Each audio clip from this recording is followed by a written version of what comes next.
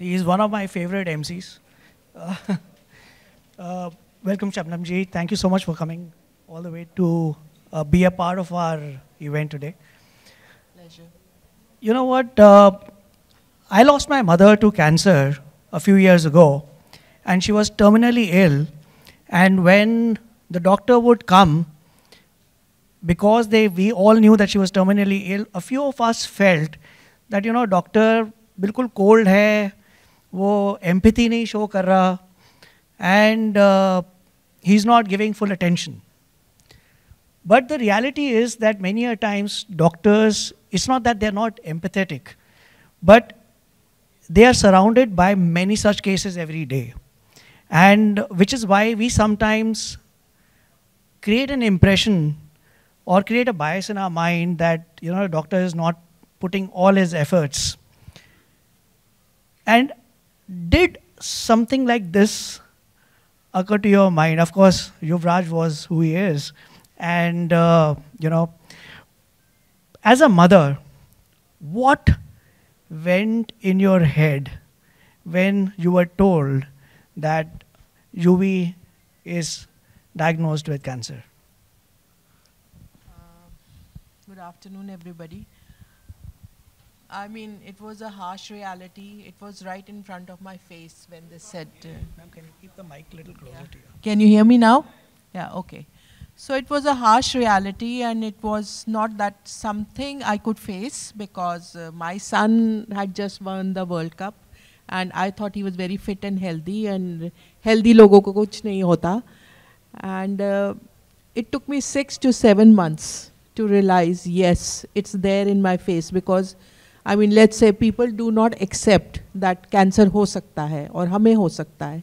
A cancer can uh, sound mild if it's not your own child, but you know, right, it was there in my face, and uh, I accepted it, and then we moved to America. You use the word that you accepted it. Yeah. You know, and this is uh, acceptance that comes in because you've been told that you or somebody close to you, somebody you love, is suffering from cancer. And many a times this acceptance is not a choice for us, right? Right. But the denial also happens. Uh, I mean, they, we are all in denial. You know, it doesn't happen, but we are all in denial कि हमारे को तो हम तो सब ध्यान रख रहे हैं. Some of us turn into vegan, hoping that you know we will not be diagnosed with cancers. But we've seen uh, people who are non-smokers getting uh, lung cancer. We've seen people who are vegan getting cancer. What is your learning from the whole experience? You know कि acceptance tough है, लेकिन how does it pan and change the life of not just the person who's diagnosed, but everyone around him?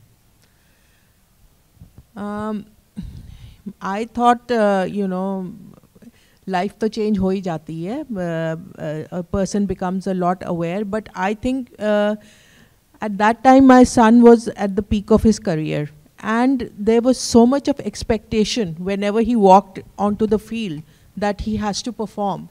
It was such a stressful thing, and you know, you're in out in the team, you're out of the team. There's so many things, there's so many politics around you. वो इतना उसको world cup के time stress हो गया था that I think you know to be able to play to perform and the you know there millions of people looking at you and expecting you to perform and especially if they're lost, you know, they come to your house to, you know, uh, like bring stones and all. So all this, you know, uh, just maybe, you know, kind of built up in him. There was so much of stress and maybe then you don't eat properly, you don't sleep properly. All these factors uh, started climbing onto him and um, it was a very stressful time for him because he just had one goal in his life that was to win the World Cup and I don't know really what happened at that time, but then our world came crashing down the moment, you know, like um, after the World Cup, after, between the IPL, he took his x rays and we found that lump.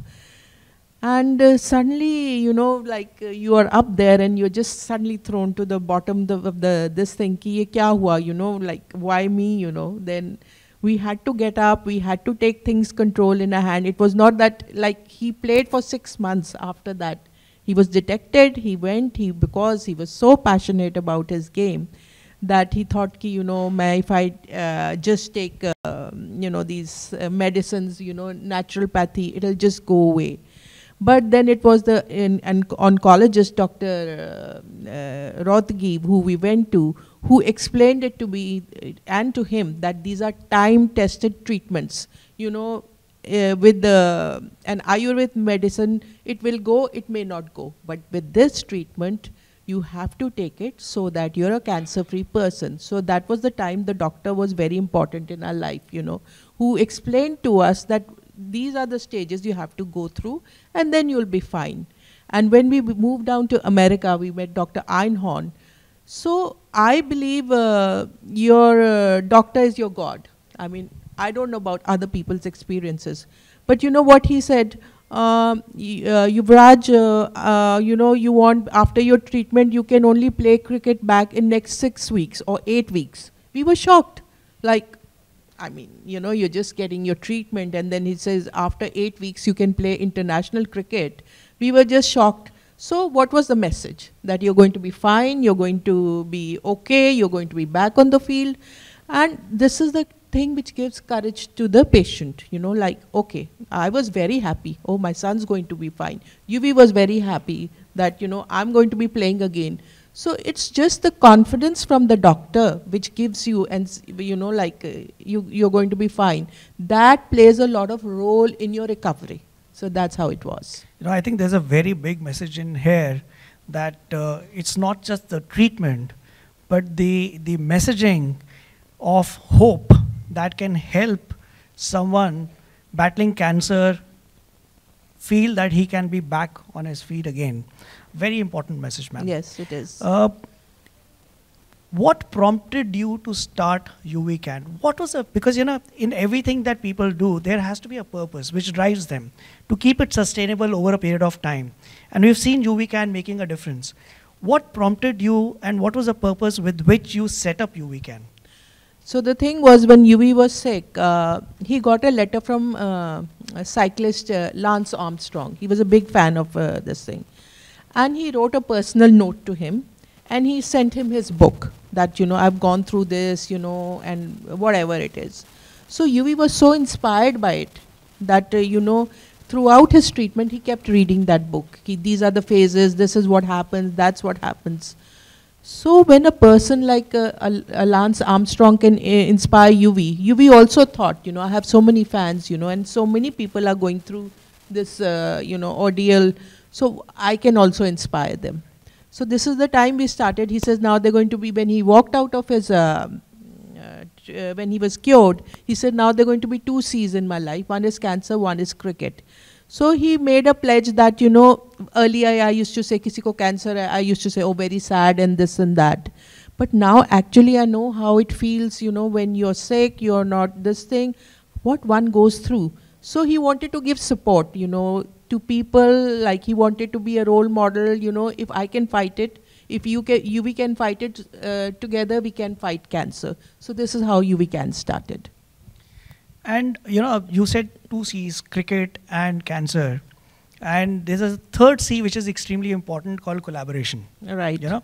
And as an institution which is working towards uh, helping people be aware and then help them get treatment for cancer you can't do it alone. You need institutions to come and back you up, whether it's a medical institution, the government, etc.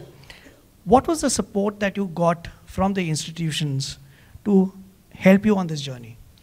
So we have a lot of support from the corporate world and the, from the government also, and uh, we are more into awareness, treatments, and education of the uh, you know children who have lost everything, parents who have lost everything. We are supporting a lot of children with education and treatments. And a uh, lot of people have pitched in. And uh, we are looking like with the Goa government, we've done about now done uh, 50,000 women on uh, cancer screening. And uh, it's just going on. We are trying to get bigger and bigger by the day. So hopefully we'll get there. What has been your experience? I mean, this Goa uh, thing that you did, yeah. 50,000 women getting screened for breast cancer. Right. You know, and we were talking in one of the earlier panels that we are finding more people, more cancer cases because more people are getting screened. Right. And then we are also talking about denial. Yeah. So people don't go in for screening because they don't feel that they could be the ones who could be battling with this particular condition. What in your experience and observation that when you were screening these people, how many women were actually found to be diagnosed with cancer and who felt that they had nothing that they were suspicious of? So out of 50,000, we found at least 25 women who had uh, cancer, and uh, they were at the first stage. And uh, luckily, all of them were taken by the government uh, hospitals, and they're being treated. So it was a good thing. Like you know, it like you know, if you can save a life a day, I mean, what more matters to you? So we were able to save 25 women then. Lovely. And uh, you spoke about children uh, with cancer. Yes. You know, and many a times when we are talking of uh, cancer, we are always talking about what the patient goes through, what goes on in their mind. But when children are diagnosed with cancer, there's a lot that goes on in the minds of the parents. And you've been in that situation. I Yeah. mean, Yeah. Uh, you know, Yuvi was much older, but there are a lot of children. I mean, I know one of my colleagues who lost her nephew a few days ago, a 14 year old kid, Oh. right? What is YouWeCan doing for children?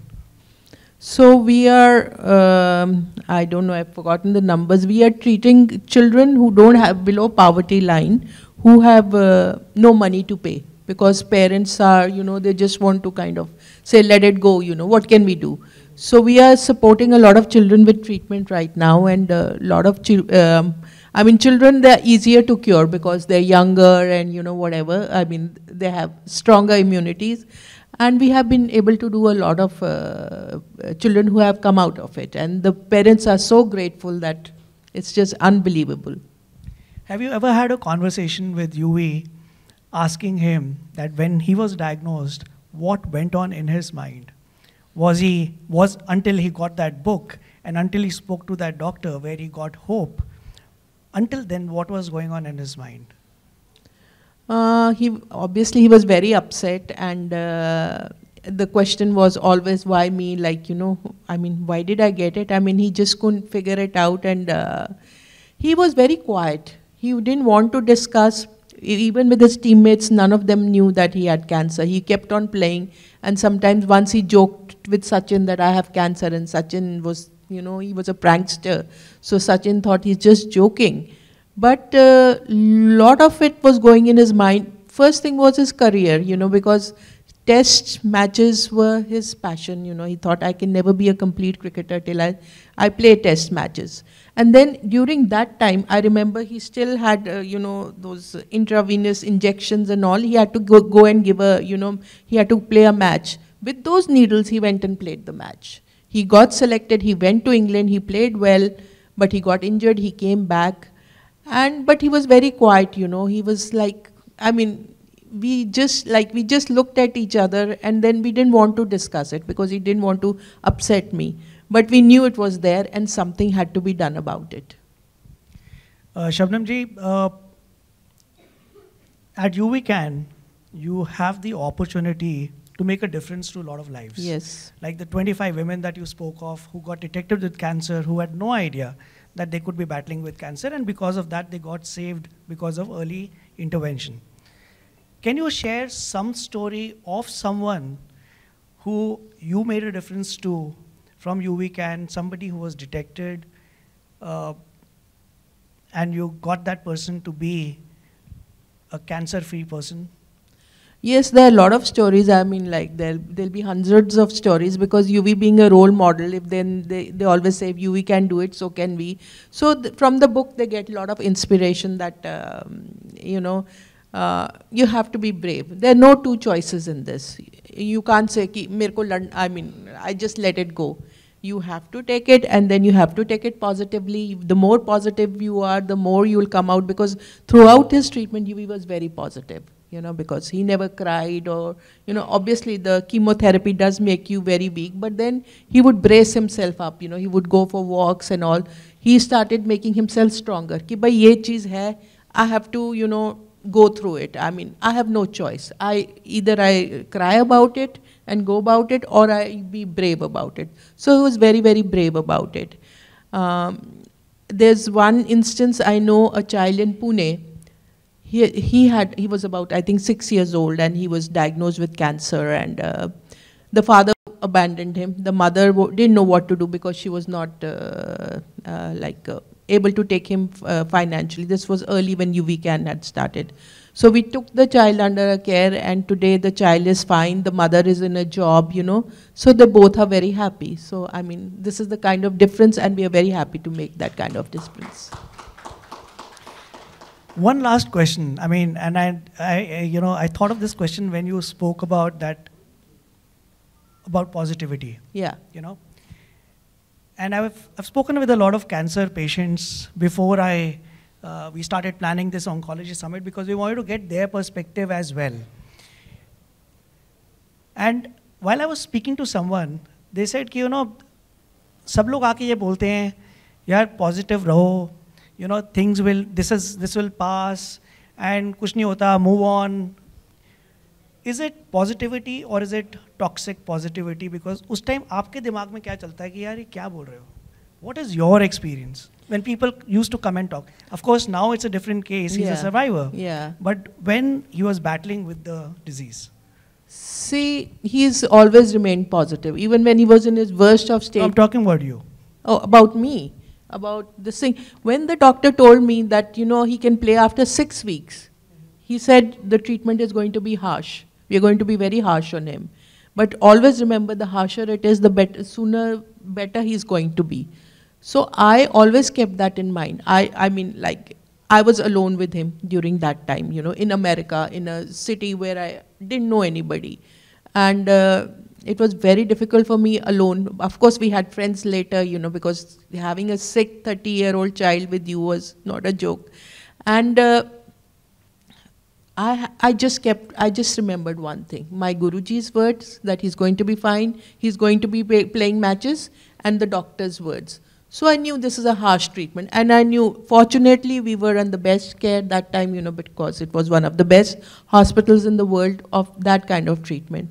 So we were fortunate, and we were lucky, and we were positive. You know, at the end, gods matter. Yes, both absolutely. when it terms in terms of having faith on the Almighty, as well as having faith in people like you, who are gods at that point in time to the person who's battling with, uh, you know, trying to get some hope of living on. And, uh, you know, the, the C that comes to my mind that probably helps everyone, the person who's battling with cancer and everyone whose life might get affected, is the C called courage. Yes, You know- and always remember uh, your doctor is your God. I mean, always remember that. That's what I Great say. words, great Yeah. words. Yeah. And uh, so nice. You know, some of us are lucky that you have the ability, the infrastructure, the finances Absolutely. to battle the disease and get the best made available to you. But very few Yes. take that experience to make that available to those who may not be as lucky as you are. And that's the journey that you and Yuvraj have taken on. Yes. Uh, you guys are blessed to be able to do this. Absolutely. And uh, so glad that you could join us and share your experience with all of us here today. Thank you so much, Shabna ma'am. Pleasure. Pleasure. Thank you.